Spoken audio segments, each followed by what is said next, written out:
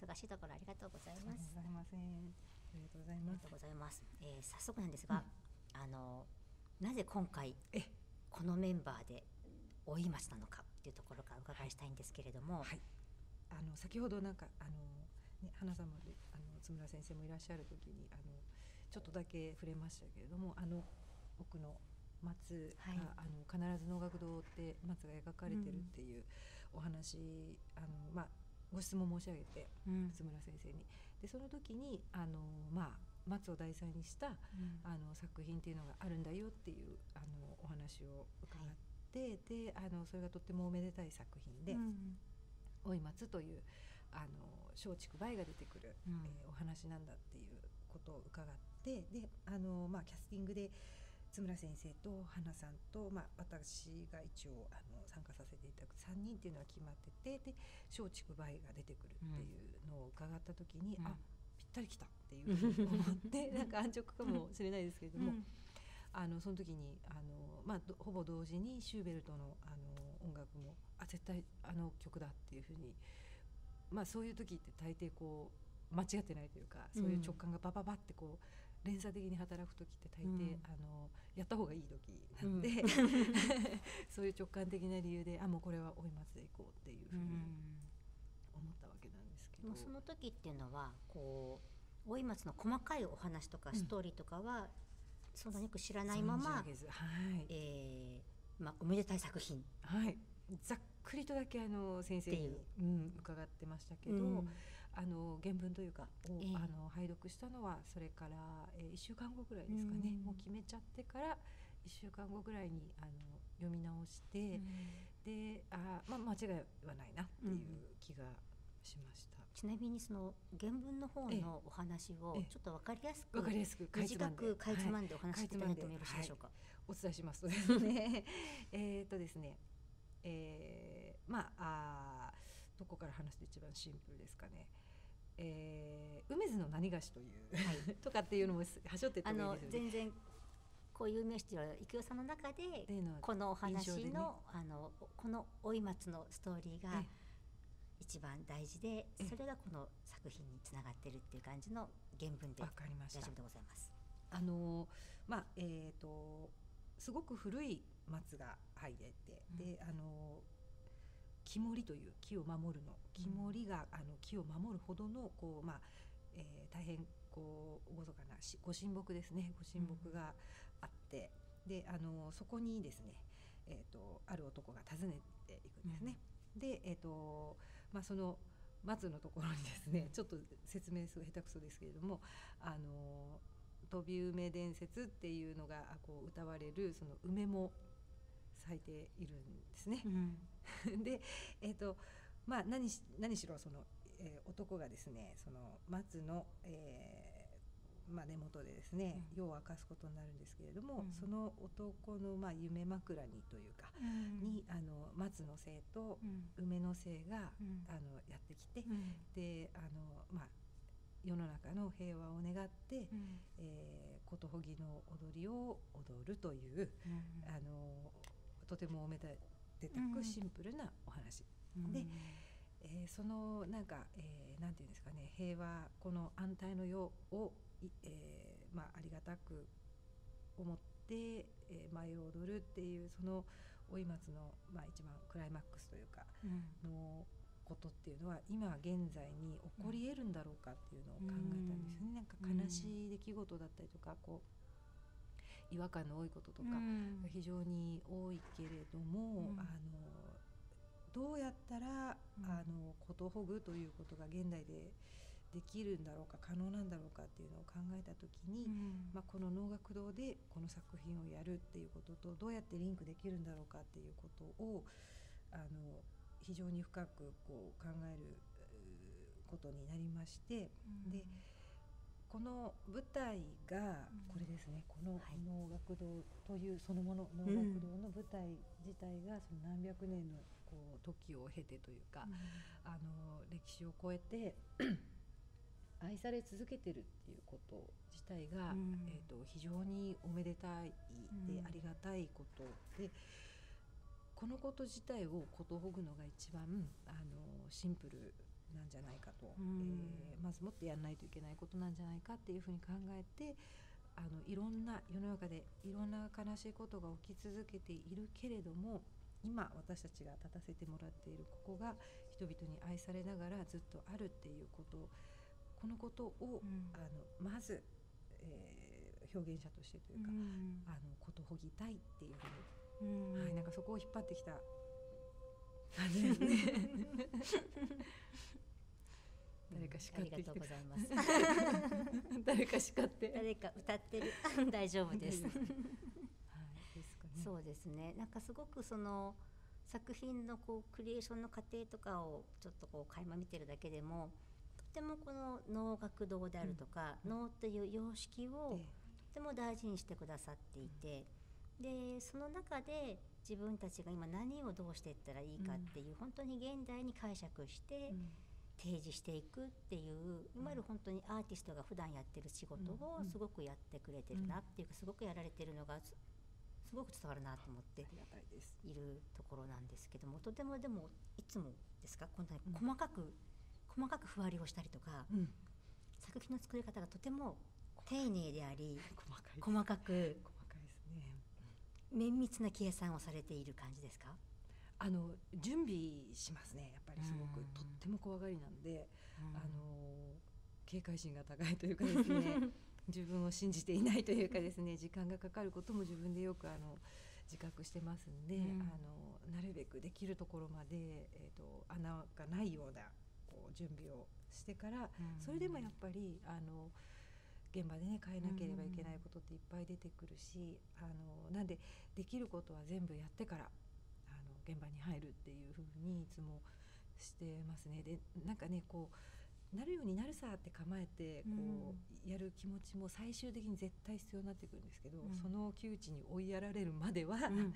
できることをやるっていうふうに、はい、で今回はね特に初めてその能楽堂っていうこういう空間を、あのお渡しいただいて、ええ。ありがたい機会なのでえそうですね。なんかあの「老い松」という原作に対してもあの絶対に生意気にななりたくないっていう気持ちがあったんですよね。うん。だからなんというか分かった風にこう生意気な口を聞くような作品には絶対したくなかったので、うん。むしろどちらかというと老い松の遡って子供みたいな。子供バージョンみたいな感じになるといいなというふうになんか老い松という本当のお能うん。古典のお能を例えばあの小学生がうん。あの夏休みに見てうん。それを絵日記に書いたようなうん。作品になったらいいなと思ってこういぶかしんで見るだったりとか斜めに見るとかしない時代のうん。あの子供が見た夢だったり子供が書いた絵日記だったりみたいな感じに叶うはずないですからね子供も。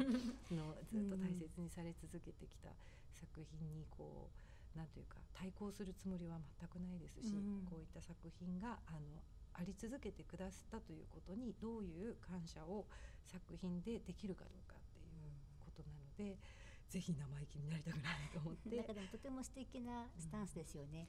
こう子供が見たところにうん。出てくるものみたいなところの作品もなんかとても可愛い作品、あそうかもしれないですね。可愛らしいかもしれないですね、うん確かに、とてもキュートだなと思ってうん。いたところがあります。先生も花ちゃんもすごくこうね可愛らしい方なので。そうですね。うん。うん。なんか触発されたんだと思いますね、うん。そこから、なんかそのすごく老い松のこうこれを見て子供を見てじゃあオリジナルを見てみようってなってうん。見てくれると、なんかとてもいいですねって思いますね。ありがたいですね、うんぜひ。オリジナルも。ぜひ原作も、はい。そうでもなんかそうやってこう一つの作品を見て、そこからじゃあ能に興味を持つとか、じゃあ、えー、とバレエを見たことなかったから、花さんのバレエを見てみようとか、うん。じゃあ育代さんって他にはどういう作品作ってるんだろうと思って、で見てもらうとか、うん。なんかそういうきっかけに一つになればいいかなと思う作品だなというふうには思って見てましたね。非常にありがたいですね、なんかとても3 人が3人の良さがちゃんと出ている作品であり、育代さんってでもうん。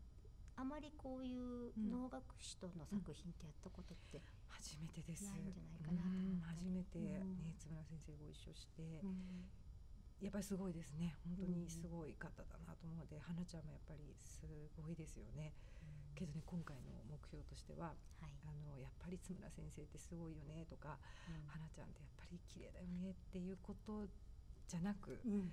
うそれはもうしょうがないじゃないですか。本当に実際問題すごいんだし実際問題やっぱ美しいんだし、うん。そういう感情あ感想ですかね、を抱くのは当然だと思うんです。だけどあの人たち誰だったんだろうって思ってほしいなと素敵です。で、うん、なんか妖精だったりとかいろんな人の思いが詰まった体。なんか、なんて容器としての体に見えたりとか、物語が詰まった体に見えたりとかすごかったり美しかったりするのはもうなんか仕方がないというかもう当然なんで、それじゃない津村先生、ん。それじゃない花さんっていうのがなんかね物語とか人々の思いとかが詰まったものとしてしか見えないぐらいのあことになったら素敵だなと思って。本当に演出家ですね。演出ですね。演出ね、うん。どうできるかでもびっくりあの それがでも出てるような感じはしますけどね、頑張ります。ええ。でもそうですね。でも郁代さん他の作品の中でやっぱりご自身が出演されるええ。こともありますそよね、うですね、うん。半分半分ぐらいですかね。半分半分ぐらいですか、今までの作品の中で今回やったうん、うん感想は、うん。なんかどういう違いが一番感じるとかどういう、まあ、ご自身でバティックというカンパニーももちろん率いてらっしゃるので、ええまあ、バティックで作品を作る時と、うん。まあもちろん、まあ、2名うん。ゲストみたいなダンサーで作る時、プラスの音楽堂、うん。全然違うと思うんですけれども、そうですね。一番なんかここがうん。なんでしょうね。違いというかクリエイターとしてうんうんなんでしょうね。違う、毎回ねやっぱり作品によってバティックの中でも毎回やっぱりどうしても違う、今回もやっぱり違かった。っていうのが あの素直な印象ではあるんですけど、うん。なんなんなんだろう。なんなんだろう。何がこんなに違うんだろうな。うん。例えばそうですね。原作がいやでもやっぱりいつも通り違うっていうことかもしれないですね、うんあでもそれがうん。郁代さんとしては、うん。まあいつも違うからいつも通り違う。いつも通り違うっていう、ん。毎回全作品、作品のちゃんと個性が立っている、だといいですね。っていうことで。うん。そそううですねね。きっと、うん、多分なんかあそんな感じだと思います。私もなんか本当にその作品の奴隷なんで。作品先生がこうね、うん。何をこう求めているかあのめまだね姿になっていない作品っていうのがこう私をこうやって引っ張ってうん使ってるっていううん感じなので、でその姿の見えないあのいろんな作品たちに今までもね走らされてやってきて毎回こう人格が違ってらっしゃるのでその作品の。うんうんうんなんでうん今回もまたあの新しく「始めまして」って言ってこの辺のなんかこの辺の方に始めましてって言ってやらせてもらったようないつも作品に向かう時というのはそのいつもこの辺の方がいらっしゃって今おっしゃったみたいな、こうここから発信っていうよりはできないんですよ。どちらかというといつもどなたかがこう舞い降りてきていらっしゃって そうですね上の方上の方からどなたか舞い降りていらっしゃって黒田郁夫さんというこの体を使って発信されている。こうやってこうやって引きずり回される感じ 引きずり回されてる感じがしますね。なんか自分の中からこう、うん、毎回です、うん、自分の中からこうっていうのはなんかできないっていうか持ってないですね。その回路を、うーん。はい、面白いですね。使ってもらってます。使ってもらっている。使ってもらってます。で今度はその使ってもらっている郁夫さんが津村先生や花さんをはい、こう演出さ演せて出もらって、していくはい、確かですね。あと今までのこう活動もう振り付けを始めて何年ですか？十六年目ですね。十七年目になっちゃうんですかね。そうですね。十六年やりましたね。その中で何でしょう一番こうこの作品好きだったっていう作品ってありますか？作品はね、うん。全部好きなんですよ。これ恥ずかしいんですけど、ね自分が作った作品やっぱりあの思い入れもありますし、うん。好きなんですけどあの大変だったっていうのはすごい覚えてますね。この作品はちょっとすごいわっていう大変だわっていうのは 鮮明にありますね。ちなみにそれは？はですね「花は流れて時は固まる」っていう作品がありまして、うんあの6メートルのですね高所から人が降り続けるっていう、はい。飛び降り続けるっていう作品なんですけどそれとあと「小樽鳥を呼ぶ準備」っていう作品がありましてそれはあの舞台と客席をこう反転させてあのやる作品なんですけどやっぱりねそういうしつらいが大きいものはですね、大変ですね。うん。うん。まあ、テクニカル的に技術的にすごく大変ですし、うん。ある程度やっぱりこうきちんとしたあの思いだったり説得力だったりこう努力だったりがないと、それだけ大きなことっていうのはただやっただけになってしまうので、それを結実結実させるためのあの消耗っていうのはあの二度と味わいたくないような ものですけどね。でもやっちゃうんですよねなぜかね。ちなみに次の公演の予定というのが次は。これの公演と。はい、2月に、えー、お松が終わるとですね次に、えー、2月に世田谷パブリックシアターで、うん。えーアナザーバティックという、はい。あのバティックは基本的に黒田があの振り付け演出をして、えーメンバーのダンサーたちが踊ってくれるっていうええ。形式を常にとっているんですけれども、うん。このアナザーバティックというくくりだけですねうん。あの外部から偉大な振付家の方々をお呼びしてあの作品を作っていただくっていう、うんバティックのダンサーがその作品を踊らせていただくっていう企画です。であの今回は、えー、佐田達恵先生にお越しいただきまして、あの一本作品を作っていただいてます。はい、2月です。2月の2、3かな、世田谷パブリックシアター、2、3、4かな。はい で調べてこう調べてください。えっと年に一本ぐらいですか？そう新作の大きなものを作るのっていうですのはね。年にうん。1本ぐらいですね、でこういったこうおよお呼びいただいて、ええ。あの振りをまあ振りをというか作品を作るっていう作業がまあ年に12本ぐらい、あとは再演うんと演劇に演劇にはい。振り付けをしたり提供したりとかっていう。なかなか多分その振り付け家の人たちがどういう生活をしてるのかっていうのがかなり謎だと思うんですね、一そ般的うですよに。ねそうですね。振り付け家ってどういう生活してるんですかみたいな。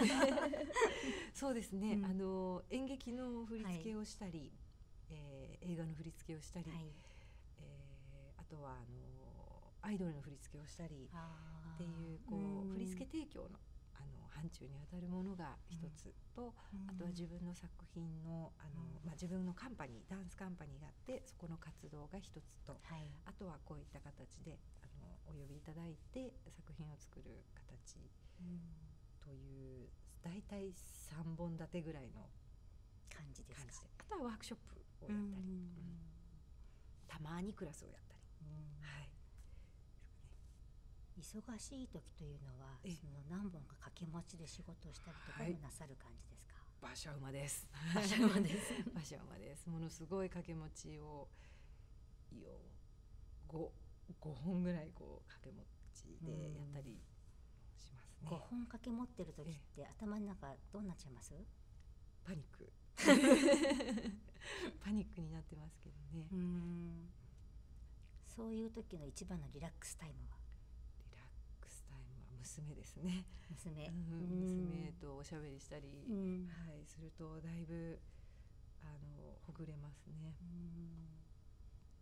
いいですね。あとはバーレッス。バレッス今でもずっと続けてはい。毎日のように。はい。必ず。必ず。手放したら多分5本掛け持ってられないと思います。やっぱりそれはバーレッスンを毎日やるからうん。5本掛け持ってもうん。体ができるアイデンティティが崩壊しないで済む。なるほど。ってことはやはり5本掛け持ってる時というのは自分がいろんな人にそれこそ先ほどおっしゃったみたいにいろんな振り付け家が同時に5本いるんですもんねこの辺でこうそ。んな感じになってますよね。ですね。ことは、やはりその中で一つやっぱり生桑さんに戻る時にはバーレッスンであったりとか子供おばちゃんと一緒に遊んでる時とかはいそうですねそれがあるからキープしている何かが多分あると思います、ありがとうございます。じゃあそんなところで大丈夫ですか大丈夫ですかね。ありがとうございます。はい、ありがとうございます。ありがとうございました